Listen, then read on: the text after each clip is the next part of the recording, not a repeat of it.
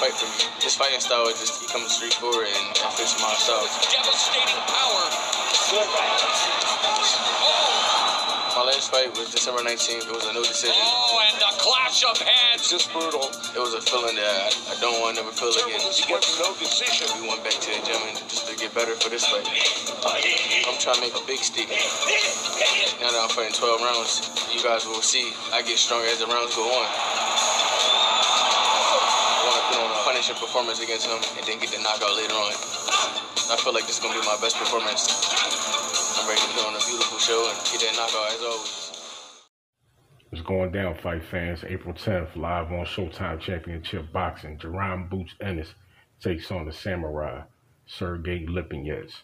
Video coming soon. Subscribe or else. Talk Nation, stand up.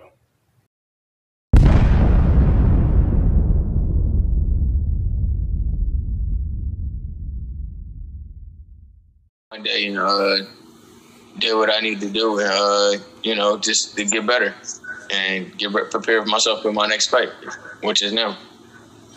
That's right. Hey, uh, if anyone has questions from the media, please raise your hands and I'll get to them.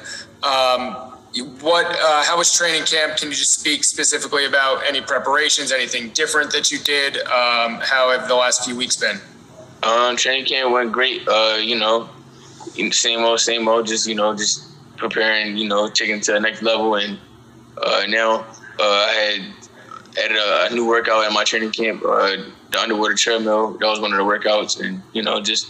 But that was about it though. Everything else been the same. Just doing a little more, and you know, preparing myself uh, for the fight.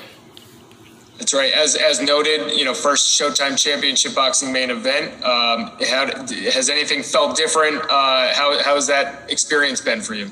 Uh, no, everything been been it's like normal to me. Uh, the only thing is, is a little bit more media, a little bit more interviews and stuff like that. But I, I don't mind it, and but everything else feel the same though. You know, it's just another day in office, another day, another dollar. Absolutely. Well, we have some more questions and some more interviews uh, coming at you right now. Uh, we'll kick Keith Idec from Boxing Scene. Uh, the floor is yours, Keith. Hey, Jaron. I'm not sure if you saw it, but uh, Lipinets told one of my uh, my coworkers at Boxing Scene that he hopes that the fight is not a marathon. Um, I guess implying that you were going to run or something. I don't know if he said that exactly, but that it's not a marathon like the last fight was. I'm just wondering if you saw that and if, if even if you didn't, what your reaction to that is. Uh, I didn't see it, but I ain't worrying about what he talking about. At the end of the day, he still got to get in the ring with me on Saturday night, and uh, you know, we gonna see. He can talk all that marathon stuff all you want. Uh, but you you've never done that before, so obviously that's a exactly. But you know, uh, we're gonna see. We're gonna see. You know, uh, they don't know what I'm gonna bring. That's why they always say that I'm an all around fighter. They don't know how I'm gonna fight. I can I can fight uh, several different ways, and that's why they always say stuff like that, and or they try to say stuff like that. They don't know how I'm gonna come. Just know they just gotta be ready. Jaron, winning this fight the way that you're expecting to win it, what does that do for you? You know, as a former world champion and obviously the most accomplished opponent that you have faced so far, what does it do for your for your career to beat him? Um, well, after I do my thing on Saturday night, and I do it in a, a big statement, a, a high fashion, uh, it's only up. It's only, uh, you know, it's only on to the next bigger and better things. The elite fighters, uh, the top top three guys, and then maybe a you know a world title at the end of the year. So I feel like it's just gonna elevate uh, my rankings up, uh, my superstardom, and uh, just like the start of, of, of me being a pay per view star and and starting Saturday night. It's only up. Thank you, Jaron. Thank you. Thank you, Keith. Uh, next, we can go to Soichi Hayashi. Uh, you can unmute. Yes. Uh, you are Philadelphia, right? Oh, I'm sorry. You You say that grew, you grew up in Philadelphia, Pennsylvania. Yes. Yes, so at that town, grew up great champion were born. Joe Frazier, Tim Witherspoon, Bernard Hopkins, Meldrick Taylor, so uh, etc. etc. So, what is your effect, uh, influence to you, Philadelphia to you? Um, you you saying like what they influenced to me, like the people that in Philadelphia? Yeah, yeah. Um, you know, just at the end of the day, you got uh, coming up. It's and you fighting on TV. You just got to you know put on for Philly and, and continue the legacy that they they uh, put on. So that's my only goal is to uh, continue the legacy and and uh, do my thing. Thank you. Thank you. Thank you. Next, we'll go to Rick Muhammad. What's up, what's up, champ? It's your boy Rick Muhammad, Brawler Sports Media. What's up, man? How you doing? All right, I'm blessed. Hey, based on uh, this this camp that you had preparing for Lipinets, uh, did anything change in camp? Any concerns? Anything that you may have worked on or tweaked specifically to his style of fight, or is it just business as usual for Boots Ennis? You just gonna go in there, do your thing in camp, and then come out and let them have it. Yeah, I mean, you you, you put it right uh, spot on. Uh, I just do my thing, you know, going there and just doing my thing and uh, work work on the stuff that my partner had me working on, and just having fun and, and making it easy. And that's that's what I that's what we worked on. Okay, now you said you do you added. Did you say you added underwater treadmill? Did I hear that right? Yeah, it's it's it's an underwater treadmill. It's it's good for your legs and your lungs and stuff like that. It's like three times a week, like pulling. It, it's it's crazy. It, it feel good. Wow. Make you feel never- phenomenal. I, I've never heard of that or seen anything like that. I bet that is like, man, that's that's about as much as uh, Rocky was training on television for those fights versus all his opponents. uh-huh. But hey, man, much respect to you. Good luck to you on Saturday night. Uh, you know, I can't wait to see what's next for you. Uh, I'm sure that the uh, title fight is definitely coming your way. Patience is a virtue, brother. Yeah, thank you. I appreciate it. Much respect. Thank you. We have a question from the chat here uh, in terms of, of how you expect to finish the fight on Saturday night. Uh, after you know returning, what what do you value more, getting in rounds or or trying to get the stoppage? I mean, well, everybody know my slogan. Uh, I'm in and out like a rivalry, but uh, the, the main goal is, you know, just to uh, be smart, uh, win, doing it in dominating fashion, and then if they're not gonna come and come. But that's definitely the goal, you know. Head, uh, look good, put on a beautiful performance, and get the knockouts at the end of the night. Excellent. So next we'll go to uh, Keenan Atchison. Hey, Boots, how you doing today, man? What's up, man? How you doing? I'm good, bro. Last time out, um, you didn't get to perform all the way like you wanted to against uh, Van Heerden, uh, him being a former IBO champ. Uh, was it important for you to fight someone of Sergey's caliber and help propel help propel you to the next level to being a contender? Um, well, like I said before, um, this is like this this the person like these type of fights I've been waiting for, and this the uh, guy that's gonna take me to the next level because he has a, a, a good name and he he was a former world champion at 140. But um, yeah, that's that's it. Um, and looking at some of his previous fights, were there things that you pull, picked and pulled out of his previous fights from his opponents that they did well that you did implement into your camp and you plan to focus on during the fight?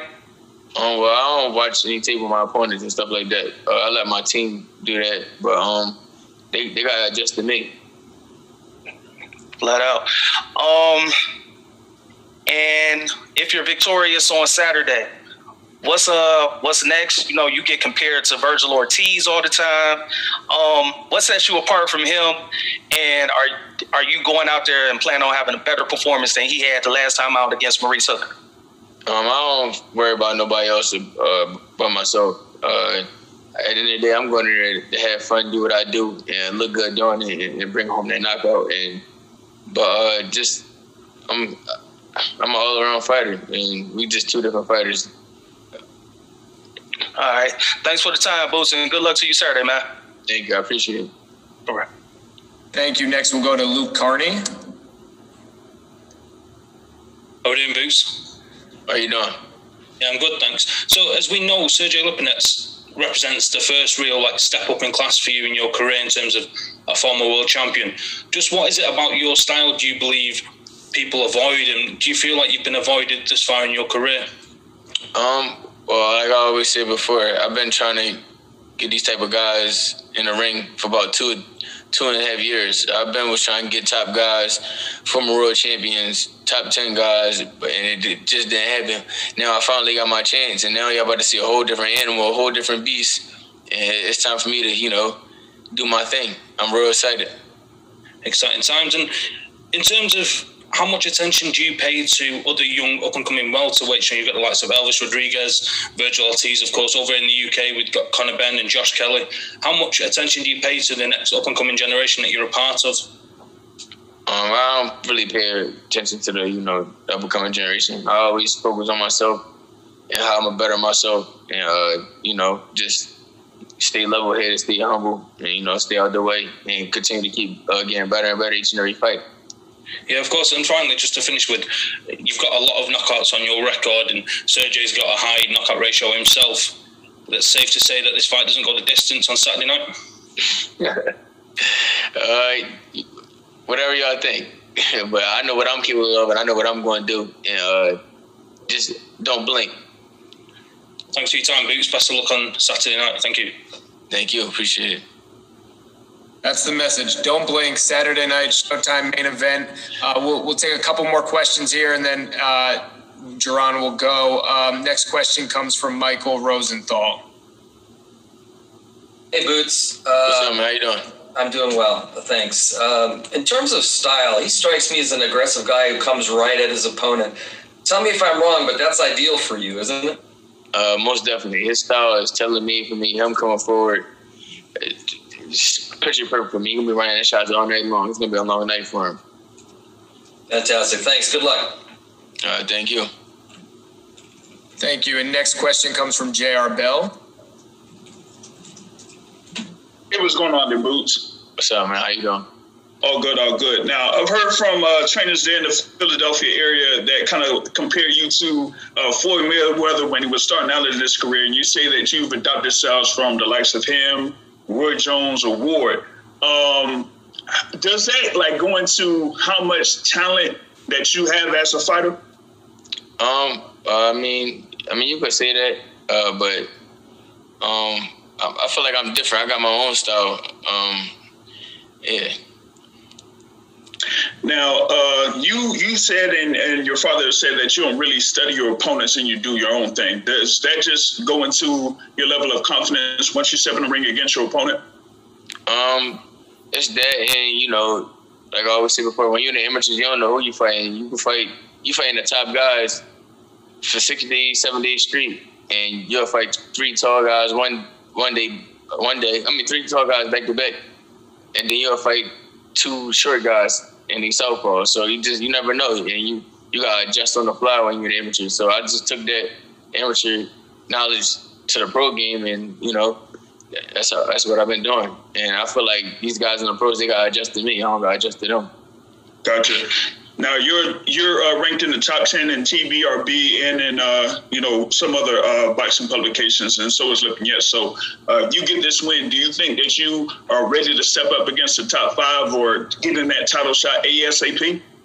Uh, most definitely. I feel like uh, after this, you know, we're not looking past Sergey Lipinets, but after this, I feel like I get a top five, top three guy, and then uh, world title at the end of the year. All right. Thanks, Boots. All right. Thank you.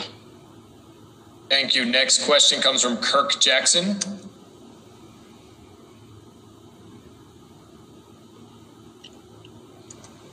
Kirk, are you there?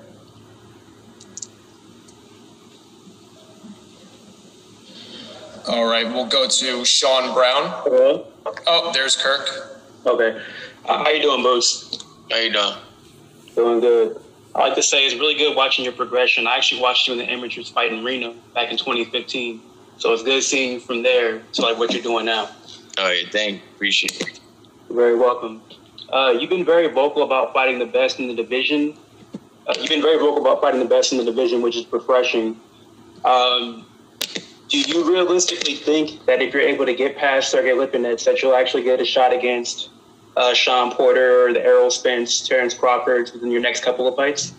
I mean, that's definitely the goal. Uh, hopefully, I, I can. You know, uh, if, uh, if, if they need a dance partner, you know, they could just call. would you be open to fighting a fellow Philadelphia fighter, Danny Garcia, if that option was available? Okay, and um, lastly, do you have a preference for your, like, let's say, like your next three opponents? No, I just want uh, you know focus on April 10th, do my thing. April 10th, make a big statement uh, to the boxing world in the welterweight division, and then maybe a top three guy, and then you know so on and so forth. All right. Well, thank you. I appreciate your time. Much luck to you on Saturday. Thank you. I appreciate it. All right, Boots, we have one more question from the media. It's Sean Brown from Box Social. Hey, Jaron, how are you doing? What's up, man? How you doing? Good, thank you. Um, there's been a lot of hype and expectation around you over the years, and gradually that's gotten bigger too, and it's easy to see why. Is that something that you've learned to cope with over the years, or is it just kind of came natural and you've adapted to all that expectation? I mean, I guess it's just natural. I guess I just I stay in my own lane. I stay humble, you know, and focus on training and getting better each and every day. So that's how you gotta be. And before Stephen Fulton fought for his world title, he talked about putting Philadelphia back on the boxing map. Is that something you're hoping to be a part of and to do as well? And does someone like Stephen act as an inspiration for you? Uh, that's definitely the goal. You know, uh, to uh, put on for Philly. You know, have more world champions in Philadelphia. You know, and I feel like we're gonna have more world champions in Philadelphia around this time next year. All right, John. Thanks for your time. Cheers. Thank you. Thank you to everyone who asked questions, uh, and most importantly, thank you, Boots, for taking the time to speak to the media today. Uh, we look forward to uh, to seeing you at the weigh-in tomorrow, and we we look forward to even more Saturday night, nine o'clock main event against Sergey Lipinets. Uh, thank you, good luck, and we'll talk to you soon. Thank you, appreciate it. And for all the media.